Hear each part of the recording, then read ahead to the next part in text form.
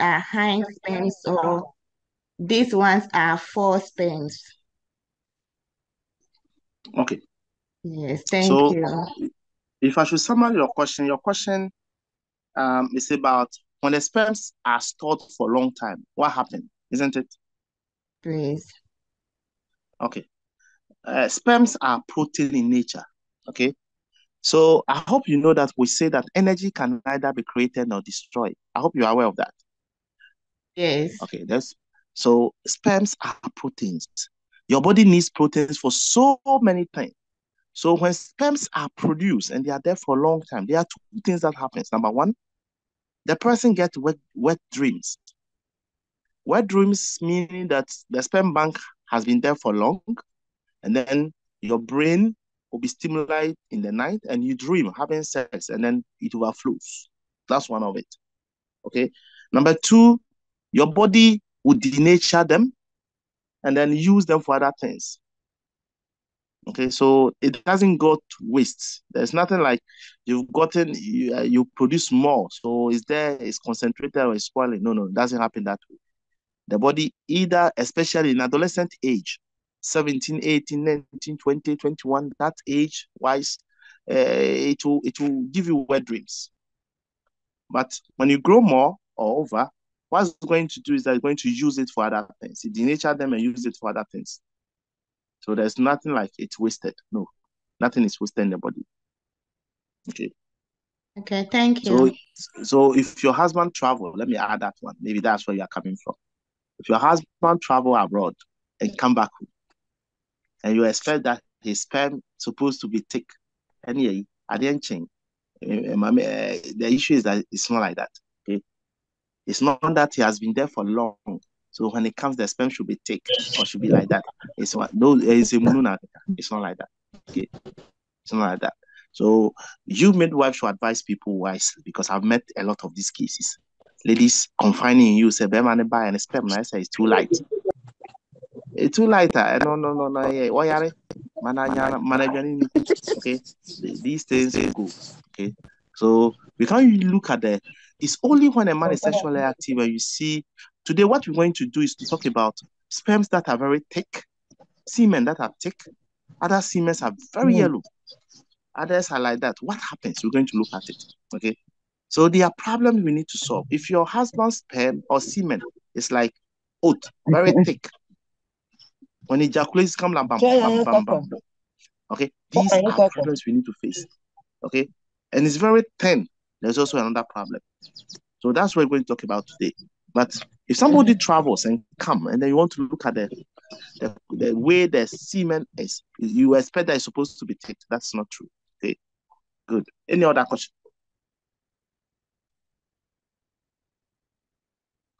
Yes, I see another hand up. Who is that? Um, uh, Faustina. Faustina, yes. Hello, sir. Please, I yeah, want to know, apart from fertilization, what does sperms do for a woman? Mm. For still. Okay, good. It nourishes you. Uh, yeah, yeah, yeah, yeah. Okay, this is what happens. You see, I said they are proteins. Okay, they are proteins.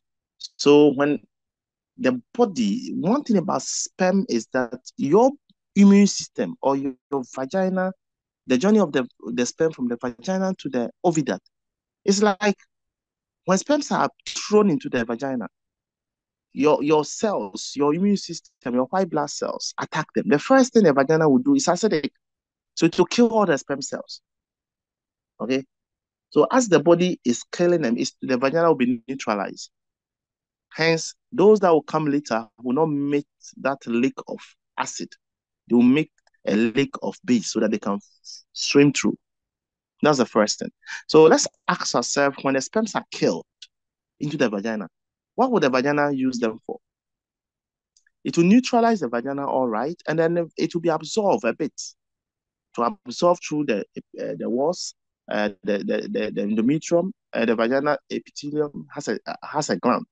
So actually, not much is absorbed there, but when they travel into the uh, into the uterus, The uterus, the endometrium of the uterus has white blood cells that will attack and kill the sperms. So those that are able to swim through the lake of fire, when they enter the uterus, the white blood cell within the uterus will attack them again and kill them. So the white blood cell use engulfment method in killing. Engulfment means that they will surround it and kill it and parasite it, and then use it for their own good. Okay, so those sperms that were not able to be used or not able to kill will run their way through the uh, the, the, the, the barrier of, uh, of white blood cells or of soldiers into the oviduct. Over there, there's a resting spot, a bit, and will be fed, and then they will continue their journey. Even there, the second aspect comes when they have to survive on their own. So if you look at the journey of the uh, sperm from the vagina into the oviduct, they are killed and absorbed into the body, killed and absorbed into the body. But you see, what happens during sex? Hormones are released. It is these hormones, some of these hormones will be released only during sex. Okay. So it's not the sperm that are going to give you good skin and oh no no no it's not that one okay it is the hormone that is released some hormones will be released only during sex we're not, we've not read their hormone yes we're going to talk about them in female reproductive system so i don't want to mention a lot today but when they are released they give you exaltation in your body hypersensitivity of your body clarity of the body and then calmness of the body Okay. So ladies who are very sexually active actually are calm people. Those that their libido are dead, they don't feel anything. Always they are in they are, they are, they are fighting. Okay. So these are the issues. Sex is an exercise. So when these hormones are released, things that you even feel guilty or you feel anything, you get furious. You won't even mind. Okay. You're okay. It's like the body's at rest. And but in a Okay, so you see, when people when ladies reach menopause, because these hormones are imbalanced or not there at all, then it becomes hyper, over talkative, overreactive, over this and this and this. Okay, but you at your age, if you're from rich menopause, that's why I was saying that if you have problem with your libido, you know that you don't have affinity for sex. There's a problem. There is a problem. Let's solve it for you. Okay, if you're going to cause unnecessary tension anywhere, soup even meat in a soup, when you get missing, the whole house has to go to hell. You break hell because soup, uh, meat is, is lost in the soup. Where are they, Casa? Okay? But people break hell, and all these things are there. Anything at all that is, doesn't need them to talk, they will be talking. Okay? So sex is good. When these hormones are released, they give you peace. They let you think. You see, during estasia, your muscles undergo contraction or everything contract and relax at the same time. Hence, it's good for you. When muscles do go through this system, let's say twice a week and everything, good sex, I'm talking about good sex. It's not anything of sex, good sex. Okay, relaxes the body. And these hormones plays a vital role in the development of a female. Either thinking wise, superficial one, deeper aspect, anything at all. Okay, hypertension, then very soon it's calm. All muscles are relaxed. So it's not the sperm. Let me correct that. That I, have learned some people are saying when they have sex or skin, a, shine. It's not the sperm, please. It is the hormones that are released. So we are talking here about good sex, not just any sex, good sex. Okay. Good. Um, Jane, your hand is up. Yes, sir. I said, mm-hmm. please, I want to know the physiology behind um blue balls. I don't know I'm, whether I'm getting it right. When a guy complains of yes, yes, maybe, uh-huh, what is is it true? And if it's true, what's the physiology behind it? Okay. Last time I think I did talk about blue balls, or oh, it's not this class. Okay. You see, in the epididymis, that is where we see sperm Sperms will be matured at the head of the epididymis. They need to swing to the tail of the epididymis for storage. So mature sperm cells are in the tail of the epididymis. Okay, good. So when they move, the epididymis is like a safe house. Protect them. Have you read on the Pampiniform plexus? Have you gone to the PowerPoint? It's all. You see, epididymis is like a safe room. Heat does not get them. They are cool. They are fed. This is when so they play. So when something is happening, like a man seeing a lady, and then erection, uh, she he thinks something going to happen, erection happens, you touch him, do some kissing and everything, it allows the sperm to start moving. So some of the sperms will move from their safe house, which is the tail of the epididymis, to the vas deferens. Like if nothing happens, they can't flow, they can't swim backwards. There's no back movement. They swim forward alone. So when that happens, the body will see that or would identify that some sperms are not in the safe room, neither can they go out. So the, the idea is now is to heat the body. So the body temperature will increase because they are not in a safe room. So those in the safe room, that temperature, because of the pumping complexes, cannot get access to them. But those outside the safe room, especially those who have moved outside of the tail of the epididymis, has to be, they'll be hurt by that heat and then they'll be denatured or they'll be killed. So that the body can clean the pathway. You are there blocking way. Okay. So this activity elicit histamine, and histamine gives pain. So the guy is going to have severe, he's going to be feverish, one, and get severe pain, low abdominal pain, and to the testes. At times, these pains are too heavy that the men, most men end in the hospital. Or they'll take their uh, painkiller or lie down quietly without talking. They can sleep. Try to sleep by force so that the pain can go. Men are not good at low abdominal pain. So when you expose a man to this type of low abdominal pain, high body temperature, histamine secretions, and then killing, they are in, in trouble. So my dear, yes, there's a problem when a man has blue ball because the sperms have moved from their safe house and the body will see that they block their way. They are not going, they are not coming. So they have to do away with them. So it needs to denature them. Okay. So that's what happens. And then it's not a pleasant sight for a man. If you put a, a man in a, in this state and then you talk to him next time, he won't mind you. He won't mind you. Oh. Okay. Mm-hmm. So that's what happens. So be careful putting men. And then the married one are even those, funny enough, the research showed that men who are married are exposed to blue balls than those who are not married. I don't get that research. I don't know how a married man will be exposed to blue ball. But that's what we are getting now. Women think that marriage is a, when you are married is a ceiling. I've told you, men don't talk, they do act.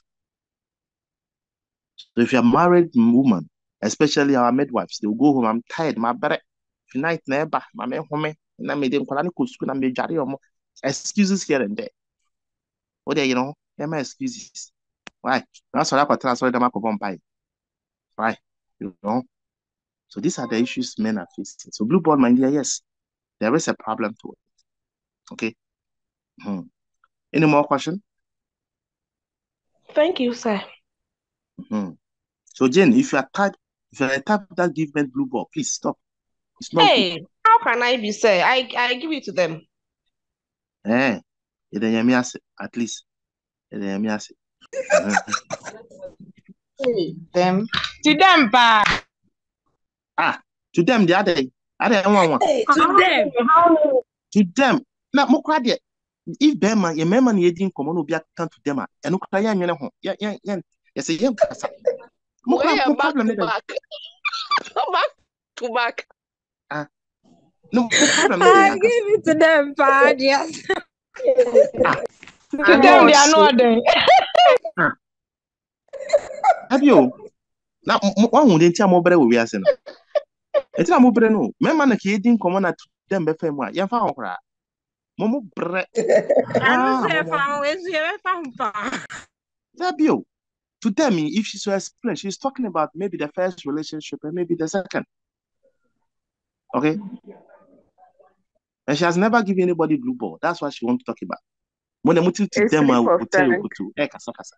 Yes, he's Oh, speaking the truth. eh, mama ya nwe Ah, Janet, keep keep keep going, keep going.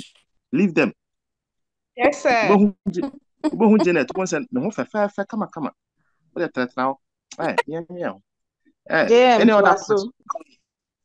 Eh, any other question? Any other question? Yes, Mary. I think I'll I'll take two last questions and we start our lecture. Yes, Hello, Mary. sir. Yes, Hello, sir. Yes, go Uh, on, I Mary. client and the, the husband called me that uh, anytime the uh, the partner comes and they have sex, after sex, I learned the penis has to go down, but so the penis erect and so the um, and it sent him at the hospital. They have to send him to Cape Coast Teaching Hospital. They gave him some uh, medication before the penis came down. So I want to ask what caused that. Okay, we've not talked about the penis yet, but let me. Oh, let me let me. We're not talking about the penis because I would I was going to talk about priapism, but since you brought it, let me chip something in.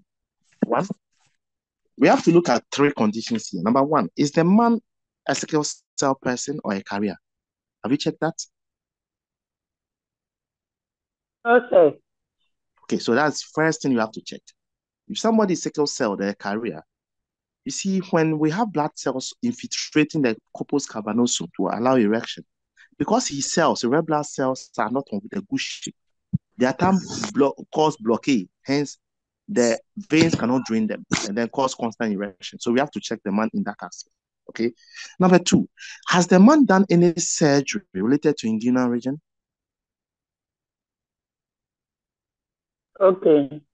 So these are the questions you have to ask. And, and number three, has the man been involved or recently gotten any accident that affected the lumbar sacral region or had been treated for infection recently? Okay. So if these three questions are all no, no, no, then we need to look for a direct ultrasound quickly. But if any of them is positive, then we need to look at it and solve it that way. We call it priapism, constant erection. It doesn't really happen Oh, like that. It happens in those conditions. Okay. Okay. Last question, so that at least I can start my lecture. Faustina Kwansan. Fausti, how are you? Yeah, please, I'm fine. And you? I'm doing well. I'm doing well. Yeah, So let me hear your question. yeah, please, I would like to find out in a in a week or in a month how many times should a man uh, release um, ejaculate? Hey, Fausti. Okay, okay, that's good one. That's a good one. A, a man actually is always ready. A man's sperm production has no time. Every the seminiferous tubule, one lobo can produce as many sperms as possible. So men are always ready. So there's no number of time. It depends on their affinity. But this is the case. You see, because sperms are stored in the tail of the epididymis, they need to be replaced. So if a man gets everyday sex, it means that the sperm cell that will be coming later will be immature. Because they are not replaced, the, the, the head of the epididymis now has to push them quickly into the tail. So for a man, at least, if you rest 24 to 48 hours, the replacement at the tail of the epididymis will be intact. So it's not that men cannot have sex always, no. But if the, the idea of sex actually has to do with reproductive system, then it means that the man should take his time. At least it should allow the replacement of the sperm, mature sperm cells, from the head to the tail of the epididymis, and that will be within 24 to 48 hours. Okay. It, it varies. Some men can even go every 12 hours, replacement is done. Others will go 48, 72 hours. So it varies. But remember, men are always ready. There's no menstrual cycle for men. Tawila Boka. Hmm. So if you look at, uh, what's it, Amira Boka? Oh, most so. Sir, Uh-huh. please, sir. I learned that Yes, go on. Hello? Hello? Am I there? Oh,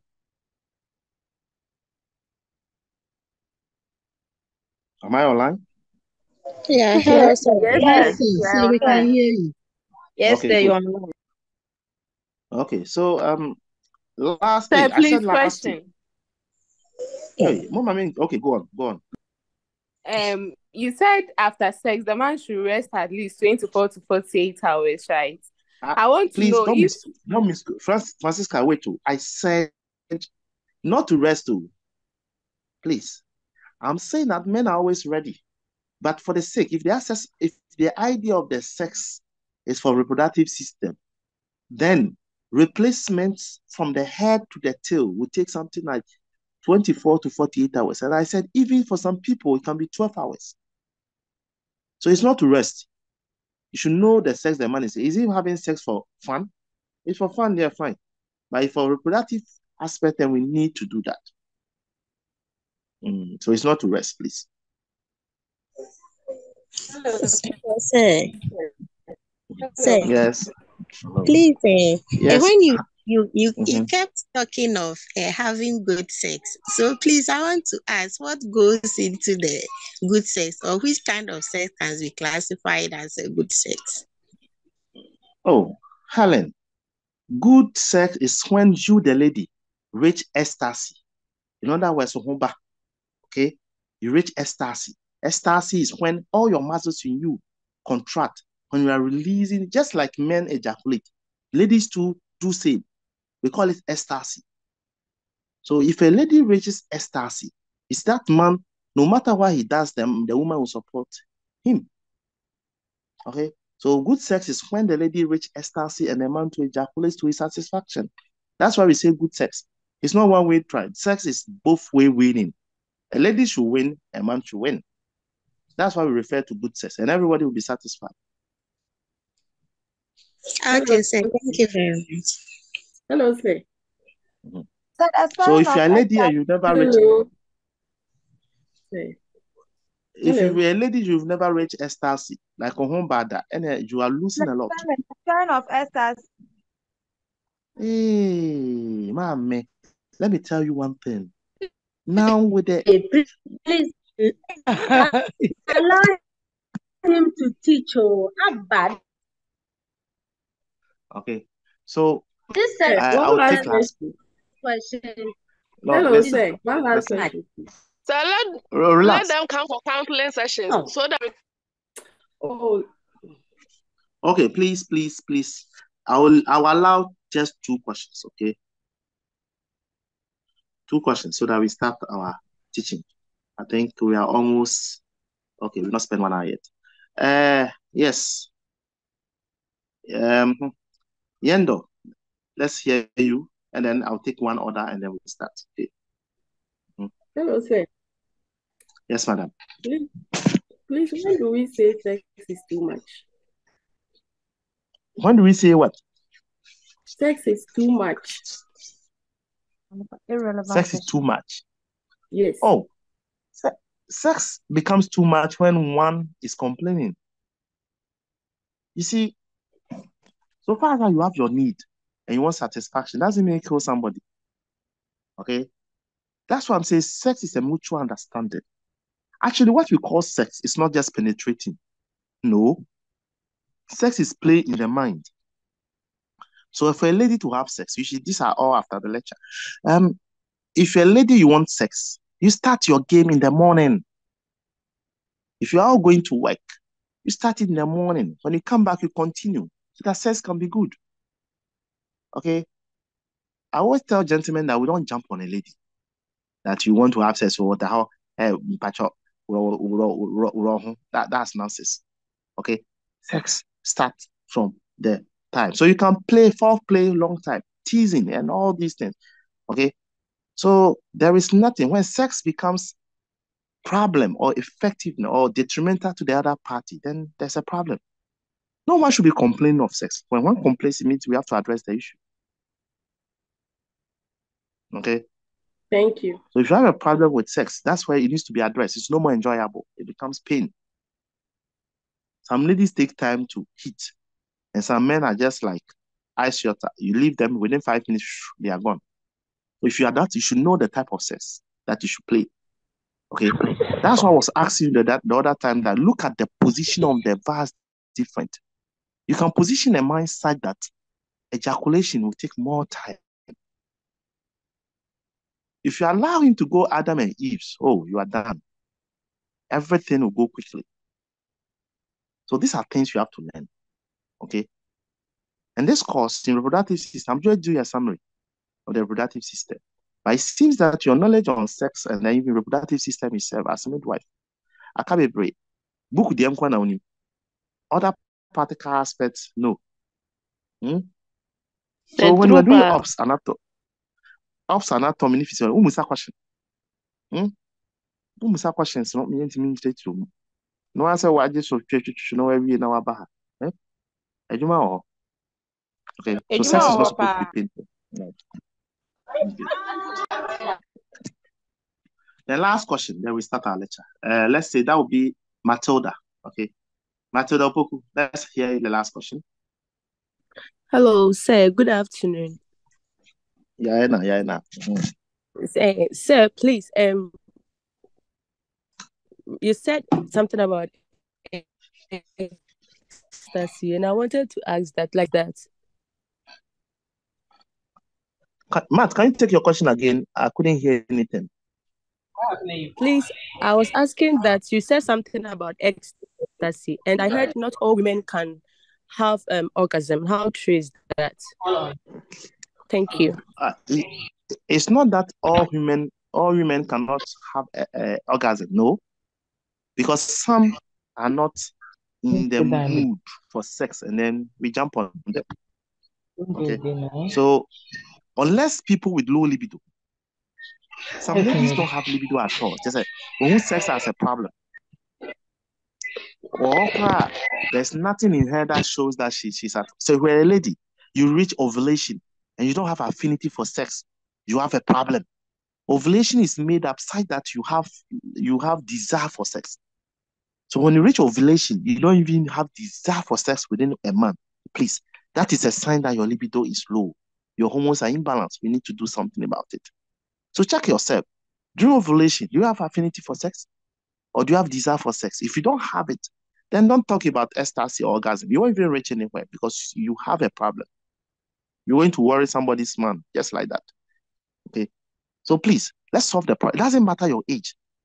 People right from puberty have that problem, but they didn't know. So right from the day they married till now, they see sex as a problem. They see sex as a way of giving birth, and that's all. No, sex is not like that. Way of giving birth is a byproduct of sex. That's why some couples can marry and they say that we are not we are not after kids. We have to enjoy ourselves, releasing our hormone and enjoying life. But if you see sex as just an avenue for get birth giving, not enjoyable, not a listen, there's a problem. There's a problem with this at. Okay. That's why I told you last week that a lot of our midwives have that problem a lot. So check yourself. Through ovulation, do you have affinity for sex? Do you have desire for sex? If you don't, please, what problem? Let's solve it for you. Okay, good. So if you have another question, you can write it, okay? So that we look at it when you close the lecture. Okay. Hey, Jennifer Fusua, on same from two. I'm saying last question. Hmm? Jennifer.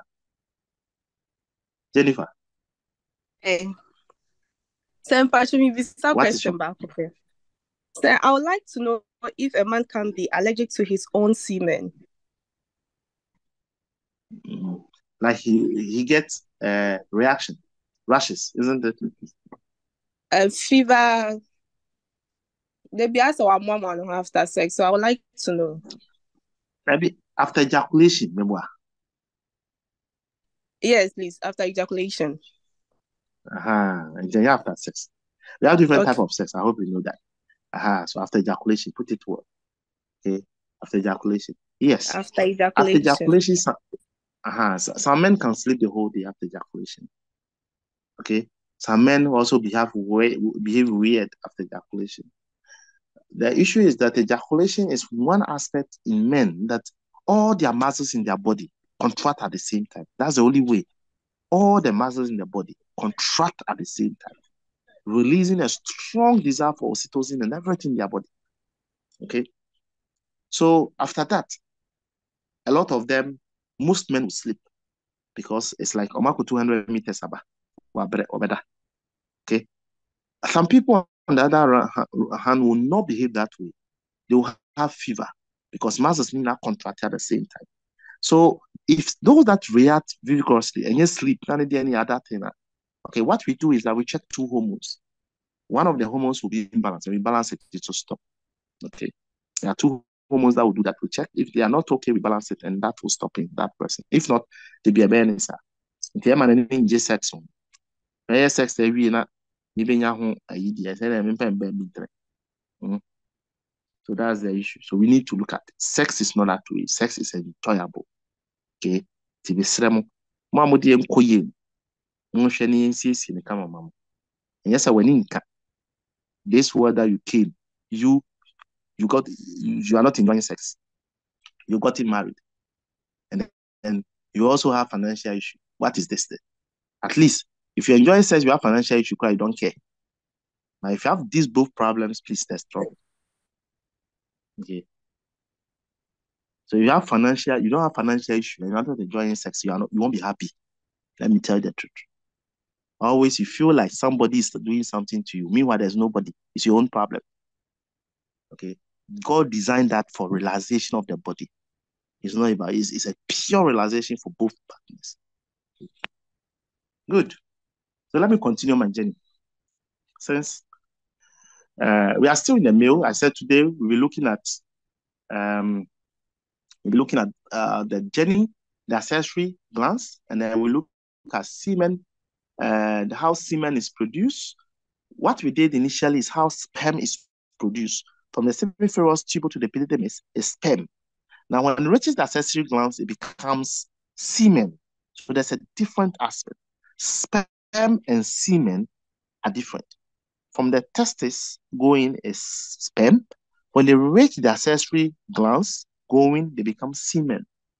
Okay, then we look at also um, semen analysis, how to evaluate the power within the semen, the morphology, everything. We're going to look at the semen analysis. Okay, then from there we can start an introduction to female reproductive system. Okay, so that's what we're going to do. So we're going to end male today, and then possibly introduce you to female. You are the most complex entity, females. So we do the simple one, and then we go to the complex one. After all, we're going to need the same knowledge. Okay. But let me ask you two questions before I start. Last time when we were talking, we said LH and FSH affect sperm production. LH and FSH affect, affect sperm production. Now, can you tell me exactly LH, low LH in a man, what will happen? And low FSH in a man, what will happen? These are my two questions. Please write those questions down and then look for the answers. Okay. But who can try? Low LH in a man, what would it happen? If a man gets low LH, what's going to happen? If a man gets low FSH, what's going to happen? Yes? Anybody to try? Low FSH and low LH in a man, what is going to happen?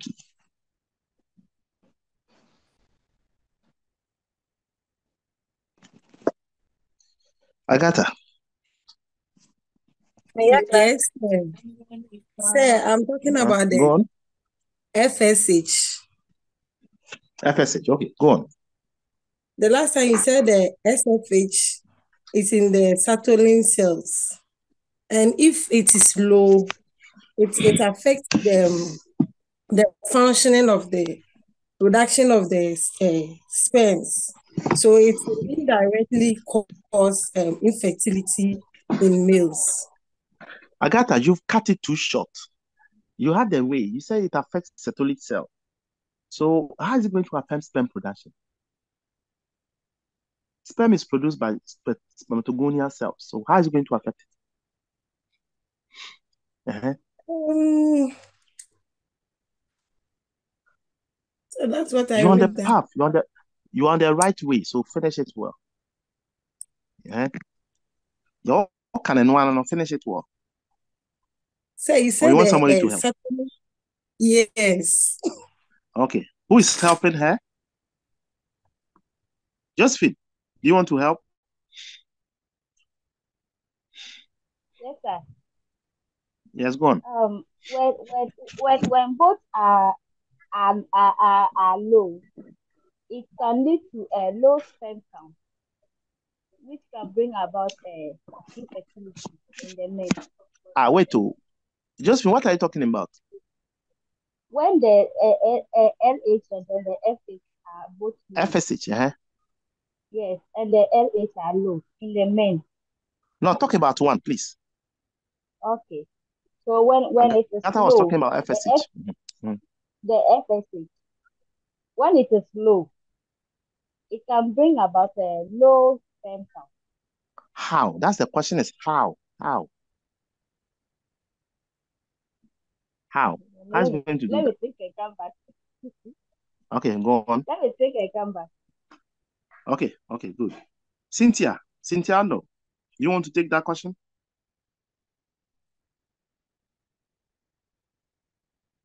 Cynthia,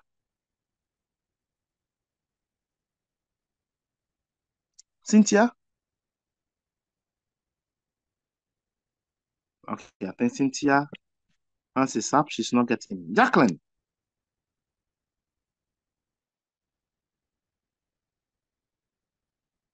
Jacqueline? Hello, sir. Yes, Jacqueline, do you want to take that question? Yes, like what Agatha was saying, the last time you talked about the Sertoli cell, you said that that's uh it nourishes the sperms. So if the SF uh the uh FSH, FSH. F FS that is uh, follicle stimulating hormones. So if the Sertoli cell is not uh the sperm is not well fed, what do I say it? It's not well nourished, meaning then the sperm production will also be low. And because of that, it will affect the fertility of the man. Okay, okay. Now, Ja- Jacqueline has made an important point here. But is that all what's going to happen? It he said that it's not going to be fed well. So automatically the sperm will not be the sperm production will be affected. Is that all? FSH. Is that all? There's more to it. Uh Joanna, Amisa, Joanna. Oh, sir, please, yeah, said my so please, I was coming to say that um the Sertoli Oh, cell it protects the the one that produces the cell. So if the SFH is going to affect it, then it means it can protect it and it can feed it. And if it can nourish and then protect it, there will definitely going to be a problem with where it's being produced. And so therefore there will be a low sperm count or the sperm that will be produced wouldn't be enough. Thank you. okay, good. There's one other point that you've not mentioned. There's one other point that is not mentioned. Okay, let's look at it. So these are how the questions should be in exams. A man with a low FSH, which of the following condition can happen? Then A, B, C. Okay. So you've mentioned, let's see somebody else. Okay. Um, Jane, Nana Ando. Jane? Yes, sir. Uh, Mhm. sir, please, uh, when the follicle stimulating hormones control the function of the fertility cells. So, uh, a low level of it will destroy the blood testis barrier of the Hmm. Sertoli cells. And when it's being destroyed, uh, uh, sperm cells are being exposed to foreign materials. And, and this can lead to a low sperm count or infertility. Ando, actually, when the TBA, TBD, tested a blood barrier is broken, it's not no sperm count. Okay, it's not no sperm count, and it's not going to be as it will be affected by the person's own immune system, autoimmune, and it's going to lead to a spermatozoa, a spermatozoa, no sperm cell. So it's not no sperm count. That, that is serious. It's going to be affected. It's going to break the barrier and eventually will lead to a spermatozoa, no sperm cell. No, not low. Okay. So you should be able to understand the importance of FSH in a man. What about LH? LH? LH? Sahada? Sahada? LH? So it was the this thing I was coming to talk about, the FSH. Oh, Sahada, we've talked. So go LH.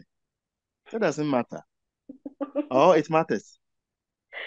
so Shahada no, too. Okay. no production of that one too will decrease the thing, the sperm viability, the production of the sperm viability. So therefore, there will be no Eh. sperm count. Hey, Sahada, you are not prepared. Go and go and back, come back. Okay, sir. This answer, they go and come back. You're not prepared. okay. Eh, Okay, good. Good. For someone to take the LH, AC, Sir, AC. sir, please. Mhm. Uh, it will affect uh, the production of testosterone. So it will cause low production of um, testosterone. Since the LH help to stimulate the production of testosterone. Thank you. By so it will affect which one and which one will produce that hormone. AC, come again. Sir, Mhm. it will affect the You uh, mix the the, cell. the Leydig cells. Uh-huh. The Leydig cell. Okay, good. Yes. And then Uh-huh. That and that one uh, causes the testes to produce the testosterone. okay, okay. So eventually it means that it's going to affect hormone production. And when somebody's testosterone is low, what's going to happen? Will it affect sperm production? Yes, sir. Yes, sir. Is it going how? How? What's the function? Can you check check for yourself? What's the function of that hormone in men? Sir, please, low libido. So low libido. So the person will have no affinity for sex. So the sperm can be all right, but he won't even have sex. He don't want to even have sex. Okay. So that is why, for fertility reason, we check that hormone in men. Because if it's very low, let's say kwano kurano, ne kondo ba. Okay. And You're erectile going to get dysfunction. no erectile dysfunction, yes. Okay. So it's not always about sperm production, ladies and gentlemen. It's not always about sperm production. But the issue that help in sex as an entity will be affected. So that hormones gives you libido and everything for you to stand as a man when you see something in his skirt moving, something moving, you have to look. But that guy, you can be naked. He won't even look at you. The libido is not there. He doesn't even care. Okay. Men are a bit jealous or mostly jealous. Jealous of men. Men, men, a man that's jealous is serious thing. Okay. Men, we are very jealous when it comes to that. So that hormone makes us that way. Okay. So a man that the wife goes anywhere, coming in, and he's just like that. Charlie, the hormone is not working. So that hormone is not about sperm production. Please get it right. But what goes into sex will be affected. So please get it right. It's not sperm production. It's not anything that ends with sperm production. This guy will not even have affinity for sex. He can't even have perfect erection. Okay. And his manhood, what makes you a man is that hormone.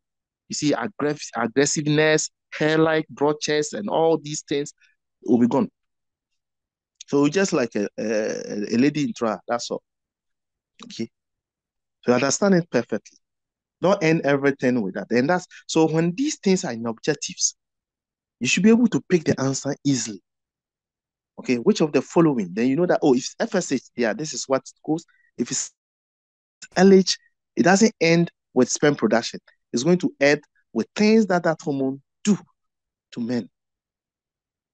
Okay. So please, it's not everything that ends with sperm production. You should put that in mind. Okay. Is anybody who doesn't understand these two things? Anybody who doesn't understand these two things? Yes, sir. Please, can you Sir, please come again? again. Say it again. I, I should come again like how? Which one? Like, Is it the FSH or the LH? sir, please uh, kindly differentiate it again. Oh, okay. FSH will eventually affect Sertolic cell. And Sertolic cells, everything with Sertolic cell is going to affect the sperm production. Being protection, feeding, barrier breaking and everything. Okay. LH, on the other hand, effects on the Leydig cell. A Leydig cell does so many things, but what we are interested in is the production of the androgen hormone, which is testosterone. And testosterone has nothing to do with sperm production. However, anything that goes into a manhood, being sexually uh, sexually uh, uh, active, being uh, erective, being aggressiveness, being any sexual drive issue, high libido, and everything will all be down. So you won't even have affinity for sex to think about ejaculation or sperm production. And then muscle. Okay. So understand these two aspects. So which of these is serious? Which of these two hormone is serious? If your husband should have one, LH. FSH. hey, if if your husband if your husband is supposed, eh, hey, nyabotre, nyabotre. if your husband or your boyfriend is supposed to have one of these problems, which one would you want him to have? Is it low LH or low FSH?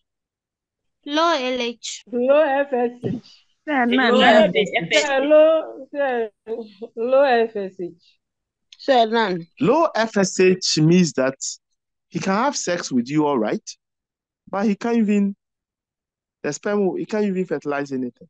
Low LH means that he can't even have erection to have sex. Okay. Won't mean It erection. means Don't none. you We don't want eh, none. We don't want Uh, None of the low above. uh, it's a water. It's a Oh, your when your husband comes home and doesn't want to touch you, do you think what is his problem? None of the above. You're already sitting closer. You don't know. So please get to know it and solve it. That's what I'm doing. Mm. You think he's tired. He has worked the whole day, so he's tired. One week, on so two weeks, on so also you're tired. Whoa, what will be that problem? No. What they're trying to solve, what they're home. So you think he has a girlfriend? He has no girlfriend anywhere. He himself, the thing is sorry, or girlfriend. So it's like that. He will try. to- Ah, let me see. Is there anything wrong with me and my wife? Let me try another lady and see if I'll get erection. So you see the problem. If you don't want to learn, this is what's going to happen to you. He won't get erection with you. So he think there's a problem. And as an African man, he would think spirituality. Meanwhile, it's a hormone that is imbalanced. So you try another lady and see. Let me go and try another another lady and see if I'll get erection. Before he's trying, trying, he has tried so many and caused trouble for himself.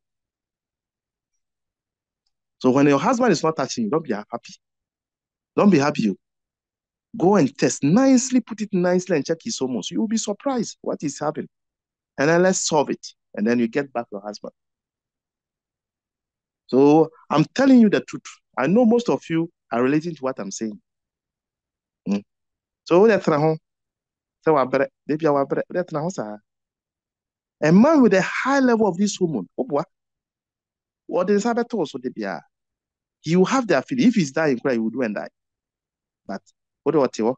I always say, oh yeah, and on sex on the way discipline. I discipline. Discipline, yeah, you my way. So please, let's get to uh let's continue with our letter. Okay. Mhm. So these are two important questions you should know. And as midwife, please do check those hormones for men. Okay, do check those hormones for men. So under what condition you won't even need to check somebody's testosterone? If you check FSH and it's low, do you need to check the androgen hormone?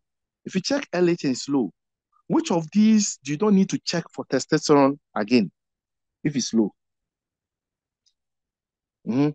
Which of these Sir, two the hormones? question, When it's low, you d- I'm saying which of these hormones, FSH and LH, FSH and LH, which of these two hormones, when it's low, it indicates that you don't need to check for testosterone again. It means automatically testosterone will be low. Which of these hormones? LH. LH. Okay. LH. So when you check people's LH, don't waste their money to check their testosterone again. Okay? People do waste people's money. Check everything because they don't understand what they are doing. Okay? So if you're the, the midwife that usually check check everything on the on the sheet, for somebody to go and do because the doctors are taking it, you are taking. Understand what you are doing. Okay. Good. Now let's continue with our journey. Okay. Uh, give Sir, me a minute. is Let me there a treatment for that? Sir, please, question. Yes. What's the question? Sir, please, is it is there a treatment for that? If you check and it's low, the LH and the FS, if you check and Yes. it's low, is there a treatment for that? Yes, there's treatment for that. Yes. With men, we have all the treatment available. Okay. There's treatment for all problem of men. There is. Okay. So if that's your question, there's treatment, okay? There's treatment. So let's go on. And I'm not going to mention treatment here, please. So let's go on. Um, let me project the PowerPoint and then So my hand is up.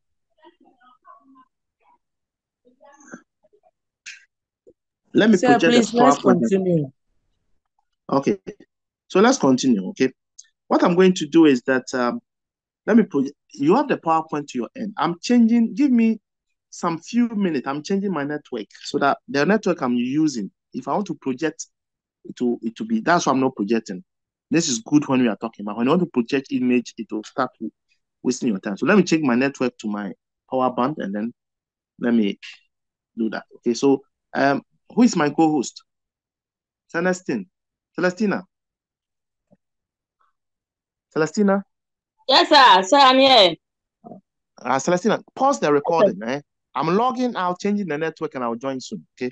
I'm Yes, using sir. another network so that I can, so can you control the so you can control the recording? Sir, don't worry. Okay, so pause it and then let me log out, to use a network, and then in the, in let's say 10, 15 minutes, I should come in back. Okay.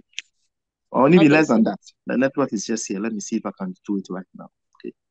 Good.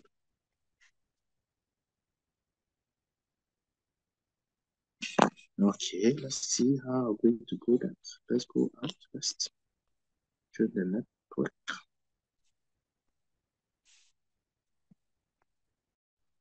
The accessory the analysis. Okay.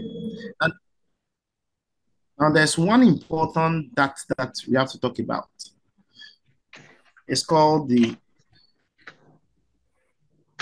ejaculatory duct. So let's look at this picture and know which one is ejaculatory duct.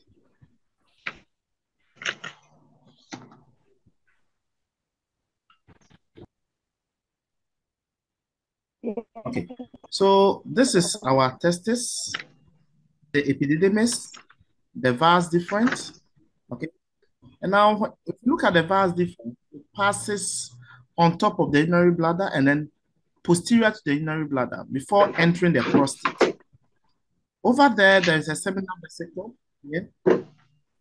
So the seminal vesicle that plus the ejac uh, plus the vas deferens, when they meet, they form the ejaculatory duct. So ejaculatory duct is a very small one over here. That's where we call ejaculatory duct. So ejaculatory duct is not that long, very short. Okay. Sir, please, I cannot see. duct, Oh, please, the screen is shared, so check your settings. Okay. So the ejaculatory duct goes into the prostate, divides the prostate together with the urinary aspect. So the urinary prostatic urethra together with the ejaculatory duct divides the prostate into three. One, two, three. Okay. So first, we are talking about ejaculatory duct, uh, semen analysis. Let's understand it. So when the sperm swim to this portion, this is where the name changes to semen. The name changes to semen when the seminal vesicle adds something to it. Then it goes in there, the prostate also adds something to it, and then they come in here and move out. So the name semen is acquired when the sperms enters the ejaculatory duct. Over there, the seminal vesicle secretes something to it, one, and then prostate also secretes something into it. The bulbourethral gland is not part, let me repeat that,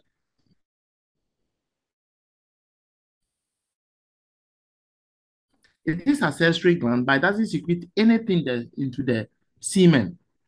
The function of it is to clean the urethra, the pathway. You see, urine is acidic. Into the penile urethra, the uterine gland will clean it. So it will secrete a sticky and so when a man gets erection, there is something sticky that comes out first. That is a secretion coming from the Cowper gland. Is to clean the urethra of the acidic content and make it slippery so that the semen together with the sperms can easily pass through. Okay. So let's look at the content. At the ejaculatory duct, what is added? What will seminal vesicle add? What will prostate add? And then let's look at the color change of the semen, uh, the color change of the semen as we go along. Okay. So let's look at the seminal vesicle. Okay. We are interested in what they add. So this is the cross section of the seminal vesicle looking at the posterior side of the prostate of the, of the urinary bladder. So in the urinary bladder, this is the uh, the duct. Here, the sperms, you see the ampulla, the vas deferens ampulla. They, they rest small and then they join the ejaculatory duct. So this is the seminal vesicle, what we are going to talk about. So from the ejaculatory duct, they enters the prostate and then come out. Okay. So let's look at this passage easily. Now we're saying that the, the seminal vesicle here, please take a, it, it, it adds a yellowish viscous content to the active sperm. So when a sperm swims to the ejaculate number one, the secretion coming from the ves uh, seminal vesicle is yellowish and it's viscous. When you say something is viscous, it's thick, okay? So yellowish, viscous added to it. We're saying that actually it gives 70% of the semen. So whatever a man ejaculates, 70% fluid is coming from the seminal vesicle. What is the color of the secretion of the seminal vesicle? What's the color of the secretion of the seminal vesicle? Yellowish. Yellow. Good. Yellowish. Keep that in your mind. And we say, apart from it being yellow, it's also what? Viscous. Viscous means it's, it's thick. Okay. Now let's go to the prostate. So these are the content. So it contains fructose, amino acids, sorbent acid. So fructose is a sugar. Okay, so it feeds the sperm cell amino acids, vitamin C, ascorbin and amino, uh, amino acids is the end product of protein to feed them again. Ascorbin is vitamin C, okay? Prostaglandin, something to contract them, to let them move, and an additional sugar to take on. So it gives them food, it gives them something to let them energize them, okay? Now the prostate, okay? The prostate is this structure just beneath the, uh, the urinary bladder, okay? So from the ejaculatory duct, it enters the prostate. Now we are saying the prostate, on the other hand, so on the other hand, secretes um let me get the H. Okay. Okay, good. So this is the content. It gives the 30% of the fluid left. Okay. And the color of the secretion of the prostate is what? whitish. Ah! Now, when you add yellow and white, what color do you get? Yellow and white, what color do you get? Cream color. Cream color. Cream color. Cream, cream color. Good.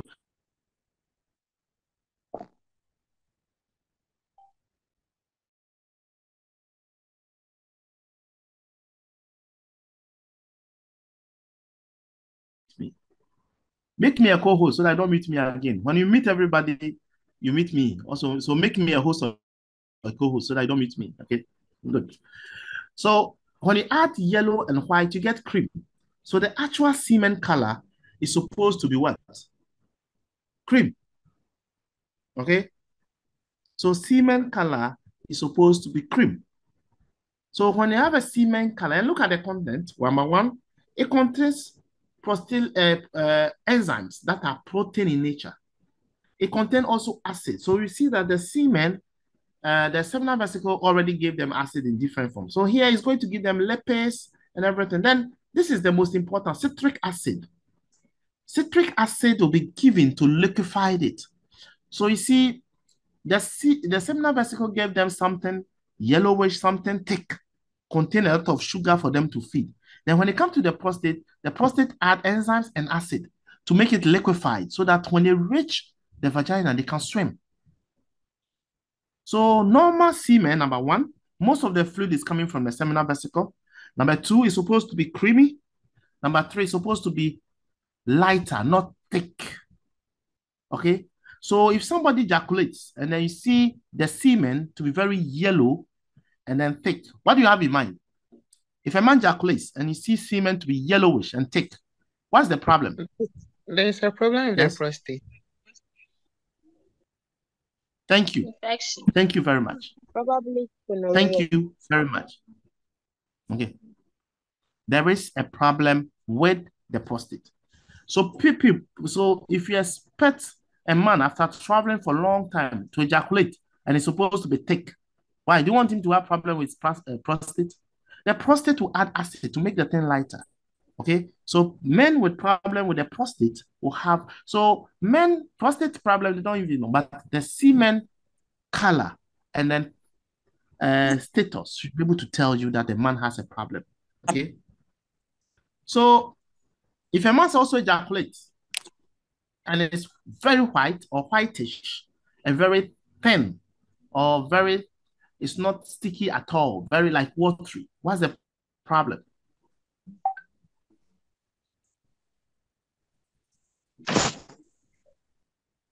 So please, can we say that the prostate what is the over, like the prostate gland is overworking, so producing more acid, making it the semen more lighter. Mm, well, Yeah, there can also be a problem at the uh, seminal vesicle. Blockage of the seminal vesicle. Okay, look at where the seminal vesicle is. It's located at the posterior side of the bladder. So any problem with the bladder will affect it. Okay, so yes, those men will give very whitish and very not sticky uh, type of semen. So proper semen, ladies have time and look at it too. Have time. It's supposed to be creamy. It should be, it should be sticky. Okay, sticky nature. That's how and then it should be supposed to be many because 70% of the fluid is coming from the seminal vesicle. And then 30% is coming from the prostate. Remember, the bulbourethral gland doesn't contain much, okay? So here, we are saying, number one, the prostatic secretion serves to liquefy the coagulant semen. Semen liquefied after its deposition into the female genital tract. So when it gets in there, should be liquefied so that it can be able to move quickly through the lake of uh, acid. Okay, so that is the important aspect. So you can have your seminal vesicles, uh, you, you can have your seminiferous tubule or the, the spermatogonia cell producing enough sperm cells, very good ones. But if you have problem with your seminal vesicle and your prostate, it's going to affect the semen aspect. Okay. So the gland here, number one, we say that it produces something viscous and slippery. That is secreted from the prostatic membrane and the, the uh, membranous urethra region, and then it lubricates the urethra before semen is released. So please, those sticky thing that comes when man gets erection, they not contain sperms. I'm repeating, they do not contain sperm cells. The secretions that comes when a man gets erection do not contain sperm cells. I'm repeating that. Okay. I've gotten instance people will tell you that sticky, sticky pneumano, and eh, then, then, then it doesn't contain sperm cell. Sperm cell to pregnant a lady should be at least 20 million. It's not just one. One will not do anything. So that sticky thing does not contain sperm cell to pregnant a woman. Okay. So the midwife you should be aware and then stop those things that you usually say. Okay, so this is the bulbourethral gland. It secretes something slippery to clean this passage before the semen comes out. Okay. So it also contains galactose, uh, uh, methylpentose. They are sugars. That's why it's a base to clean the acidic aspect of the urine so that it comes out. Okay. Now let's quickly look at the sperm. This is the normal shape of a sperm. Number one, it should have a head a mid-side, and a long tail. A long tail to be able to swim. a long tail to be able to swim. One tail, not two. And then the mid part of the mid part area contain mitochondria, which is the powerhouse. So this is where the energy is. So this powerhouse will give energy to the tail, and the tail will propel and then swim the head forward. The genetic material is here. This is where the DNA that will produce you or anybody is here. Now, this is the engine room, the mid part, power area. And then this is the wheel to move, the swim. And then this contains the genetic material. Now, at each part, we have the acrosome. This needs to be incapacitated to be able to uh, undergo fertilization. We're going to look at it during, but remember there's a covering at the head of the sperm that we call acrosome, okay, the membrane. And then we have the genetic material. So this is a front view and this is a side view of the sperm. So under the electronic microscope, this is how the sperm will look like. Okay, so this is the midpoint, a big head region, together with the cell membrane, acrosomal cell membrane, and then a long tail to swim. Now, these are the, the sperm ana semen analysis. Let's understand this carefully in semen analysis. Number one, a normal sperm count for a single ejaculation in, is approximately 50 to 100 million sperm cells. Now look at the unit, spermatozoa per mil. Spermatozoa per mil. Please take note of that. Spermatozoa per mil. Okay? So we're saying that in a single ejaculate, a man should be able to release this amount of sperm cells per mil. We are saying per mil. Now, individual with sperm count of less than 20 million spermatozoa per mil of ejaculate is considered what to be what sterile.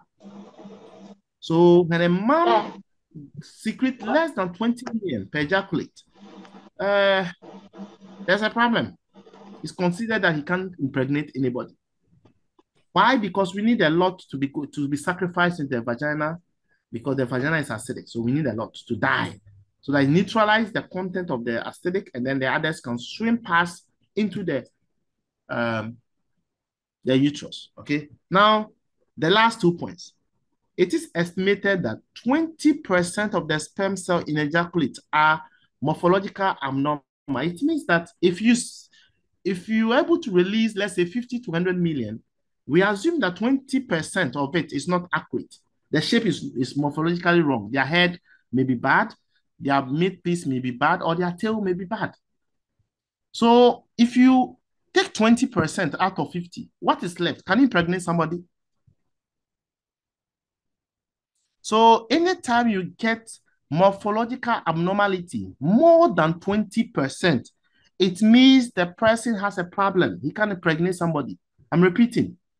If you get morphological abnormality of a sperm more than 20%, we take it out of the count. So if the person ejaculates 22%, 22 million sperm cell, and we are saying we have 25% or 30% morphological abnormal, when you take it out, the others cannot impregnate people.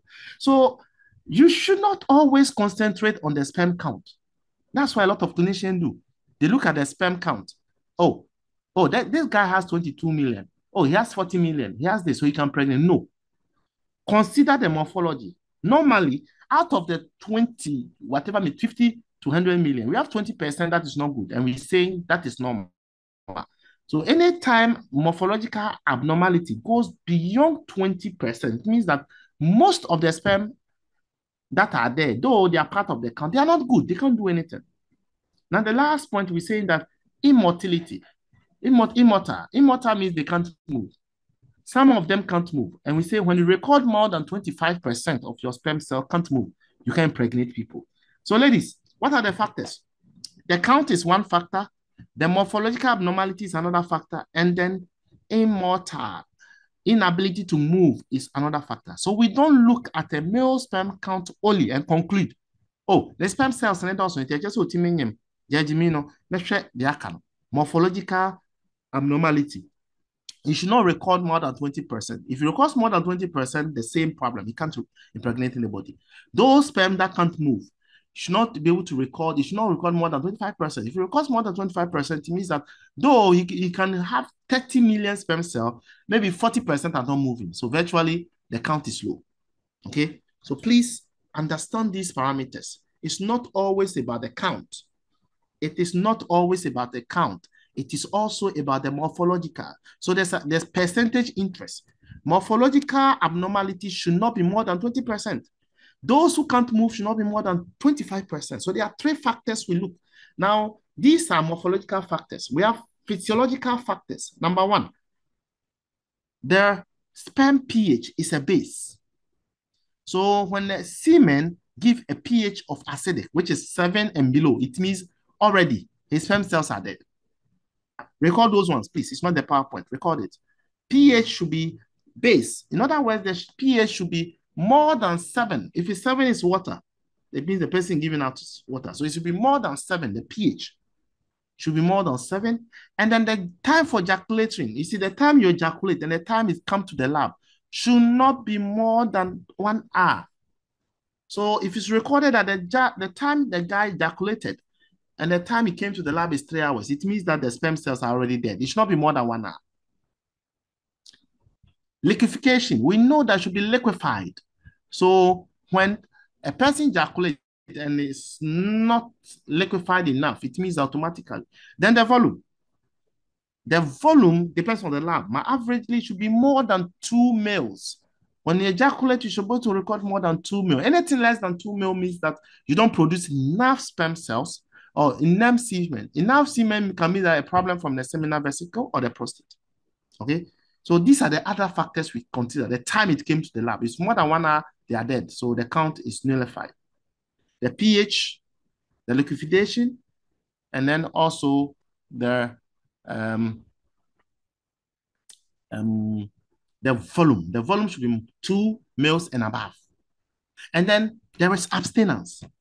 For a man to be able to abstain and get the normal sperm count, you should be able to abstain at least, at least 73, 72 hours, three days before taking the, the count. So if a man that you see that abstinence is one day before the count, there's a problem. It's going to affect the count. So you have to let him go and come.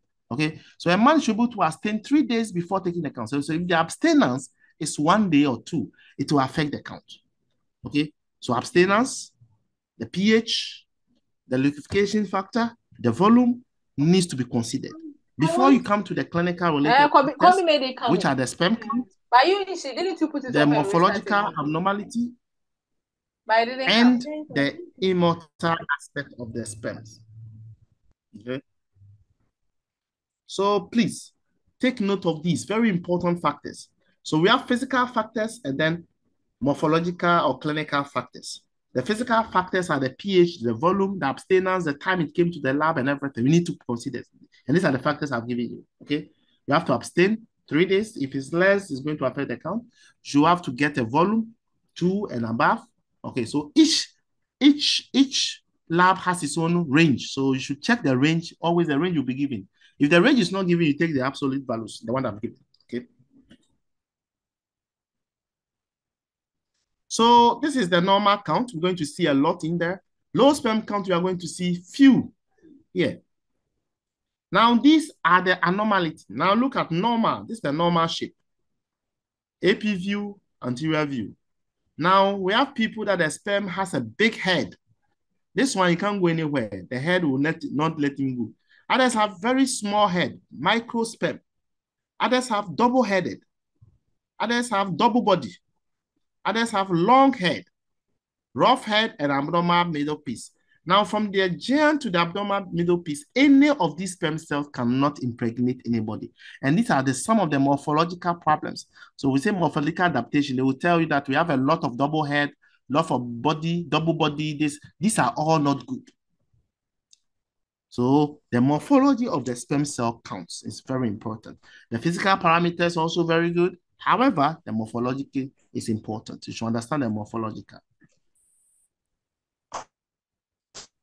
So we are saying that semen secretes is alkaline in nature. It helps neutralize the environment of the erythroids. It contains prostaglandin, which gives the what which gland gives prostaglandin, seminal vesicle, to make sure that the sperm move quickly and able to move straight from the men to the female tract. Okay. So a good sperm will help us to undergo fertilization. Now I have this on my screen. What do what do you have on your screen? Banana. Banana. Banana. So we are going to talk about what? I have children. So we're going to talk about what? Hey, Akolebi could come banana. The penis. So why do you think I use banana to talk about the penis? Why? Self-fertilization. A healthy one.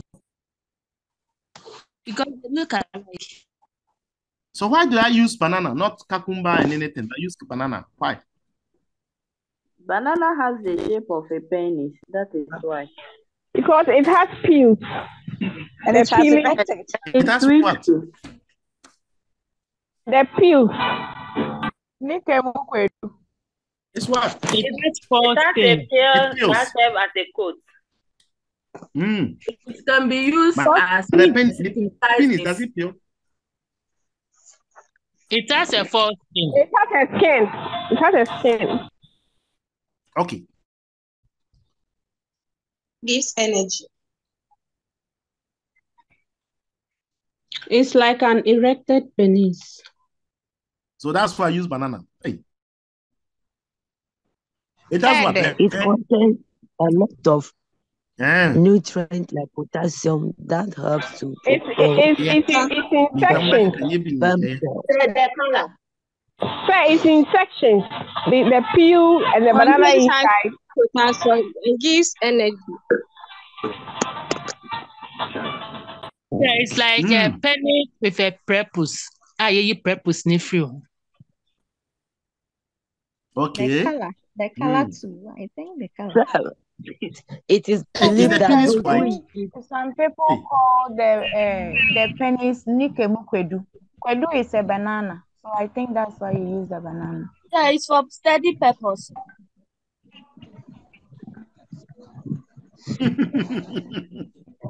Sir, please, Hey, am I it, it is believed that those who take enough banana is help them to impregnate women. They have what? Because of the nutrient in Mm. the banana. I read it. Hey, you. I read it some days ago. that's good. What is in banana? What's the basic component of banana? Potassium. Potassium. Yes, Not what? potassium. Now let me explain to you straightforward before you, you, you agitate a lot. Banana, excluding people with uh, CCF right, men with CCF right. I hope you understand CCF right. No, No, sir. no. Sir. CCF. Yes, what's the meaning? CCF. Congestive heart failure. Hmm? Uh, congestive uh, cardiac failure. In other words, people with hypertension, but they have CCF right. A typical problem with them is that they can have their foot, okay? They can have pitting edema of their foot. Okay. So men who have hypertension and then have these pitting edema, coconut and banana is not good for them. If you have a husband who has hypertension but walks to work and then you come with a foot a bit swollen or pitting, edematous, banana, coconut are not good for him. If you give him that, you are killing him slowly. Apart from this, men, banana contains something that give erection. So if your husband or your boyfriend has no not, has no CCF right, better give him banana once a day. Just two pills. Uh, two, two of each once a day. Okay.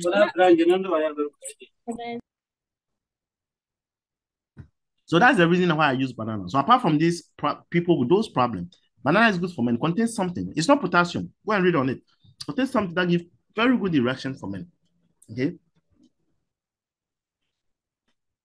Now remember, it's not all men. No, don't go and kill somebody Sir, are you eating banana? because you want erection. I'm not eating banana. I'm eating grapes. Say has eaten banana already. Oh, I, me, me, I don't take banana. So you know why I don't take banana now. Hmm? Sir, please, I have a question. Has your wife deleted? Yes, what's your question? And sir, please, I want to ask whether the Cowper's gland always secretes its um secretions bef- uh, uh, after erection.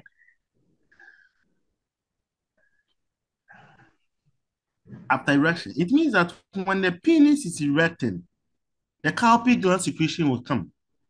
It's not always even reaction. Any erected and a pranaba. So at times it will come and you won't see. Oh, okay. okay. When the sensitivity that the sperm cells are moving, then the Cowper gland will start cleaning. So it's not at times not even erected. Now cleaning right. A cleaner. Hello, say. Okay. Say. Yes. This is the banana. It contains Yes, go a on, my dear. bro bromelain that helps to increase the testosterone level. Mm-hmm. Google, Google. Hey, Google girls, Google girls, Google girls. yes, Google all right now. Google girl. Yes.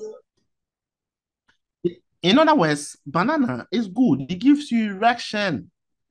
So don't go and kill somebody because you want erected penis. Check the man's status before you give him banana. Don't go and kill people.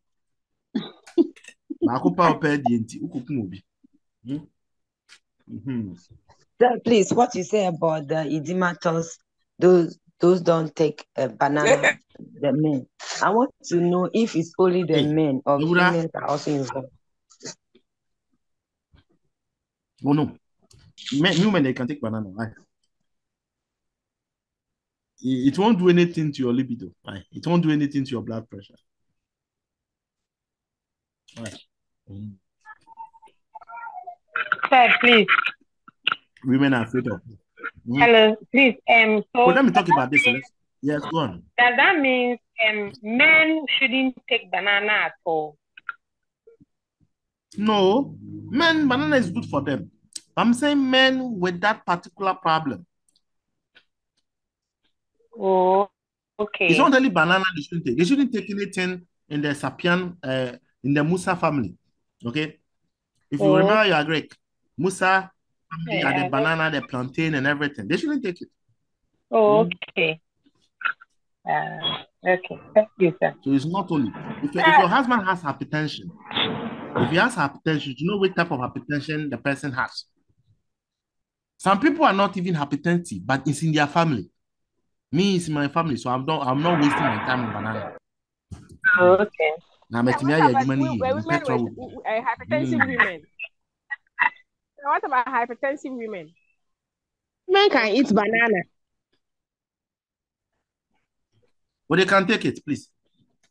This one is for erection problem. Mm? Mhm. It's not that it's not good for, but it's going for men who have that, it's going to affect them.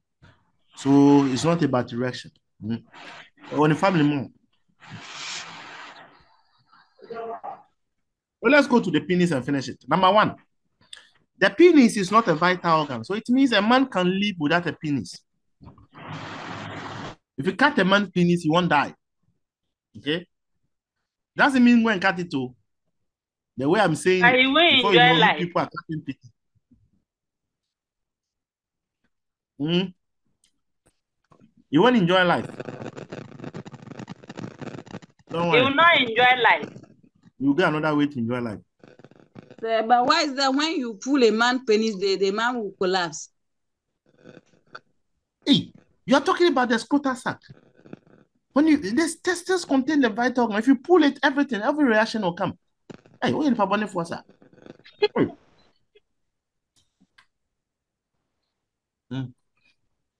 The penis and the, the scrotal sac or the, the testes is a weak part of a man.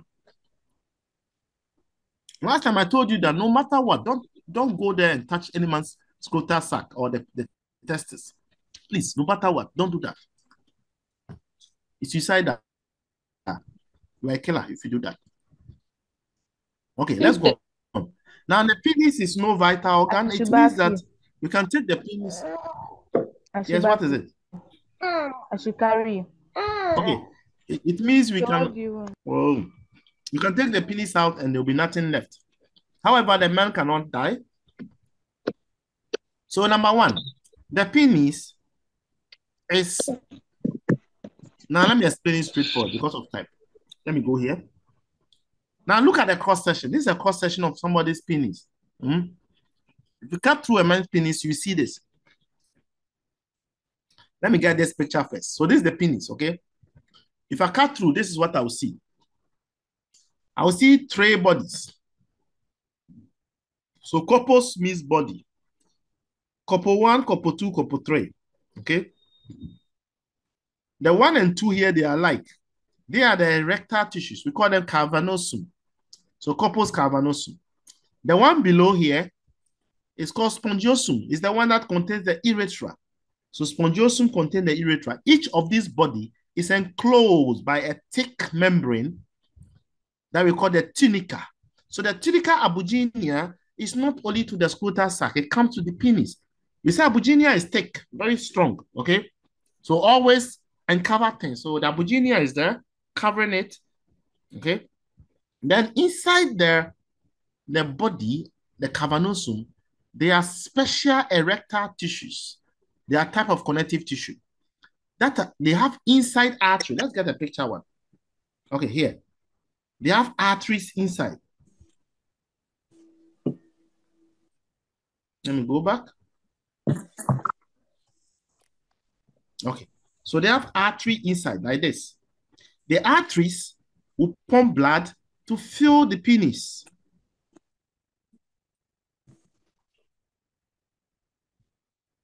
When the erectile tissues are filled, when the- these erectile tissue are filled, they engulf it, hence give erection.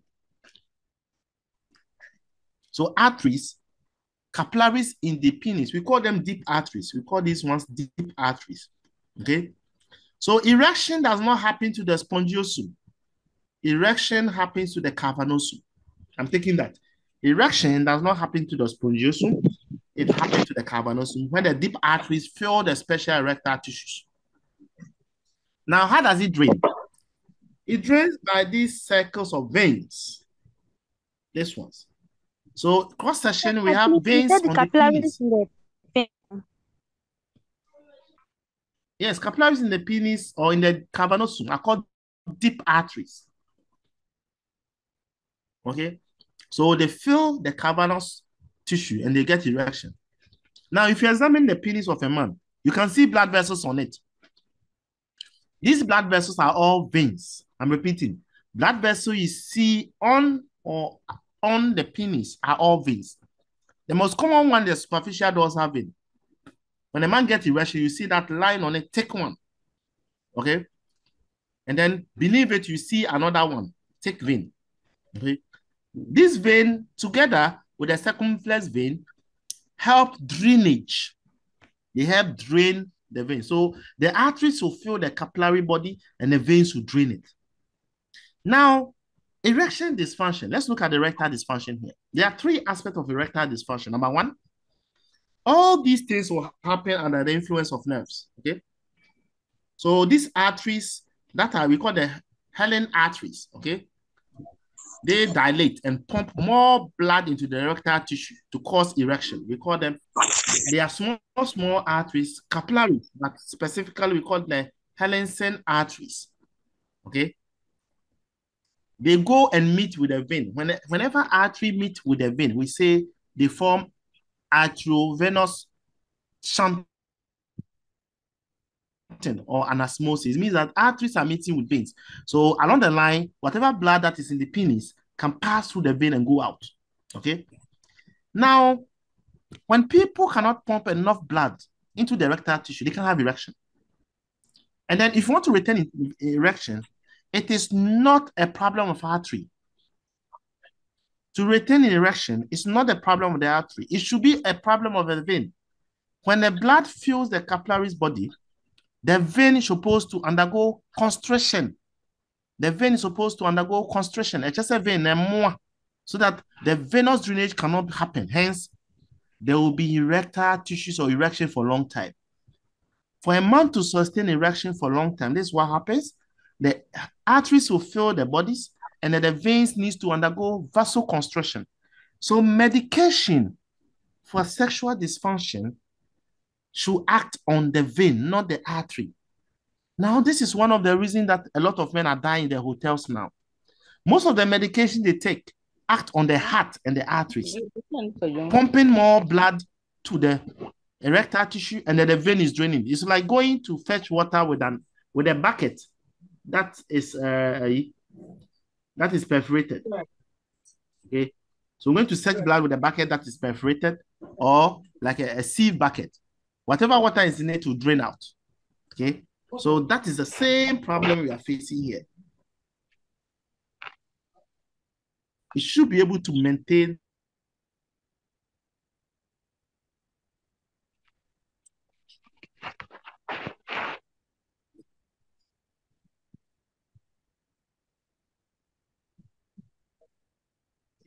erection for a long time. It is the vein that should undergo vital that to open and then they have to pump higher. If the person, why men, a lot of men are dying in the hotels are that they take down the heart and the arteries.